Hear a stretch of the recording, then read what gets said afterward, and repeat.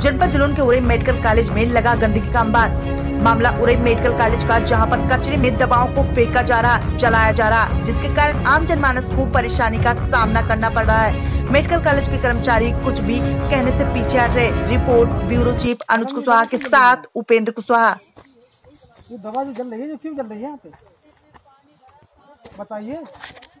देख रहे हैं मैडम जी अभी कोई मैडम जी के नाम कोई नहीं दे रही है जवाब भी नहीं दे रही है मैडम जी। क्या नाम है मैडम जी? दवा नहीं है ये गत्ता अच्छा है। अभी हमारे अखिलेश जी ने दिखाया था वो दवा नहीं थी? नहीं नहीं दवा नहीं।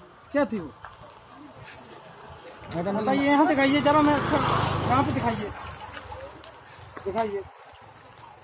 कूड़ा उड़ा हो जाता है खट्टा। नहीं नहीं देखिए यहाँ पे दिखाइए। चलो कोई बात नहीं। इन मैडम का नाम मैडम मैडम जी क्या नाम है आपका? मैडम जी सुमन नाम बता रही है अपना। कौन सी विभाग विभाग? कौन से विभाग से दवा दवा कहाँ से देखिए यहाँ पे जो कुछ लोग हैं जानकारी कर रहे हैं मैडम को कुछ पता नहीं था तो यहाँ पे जो दवा चल रही है।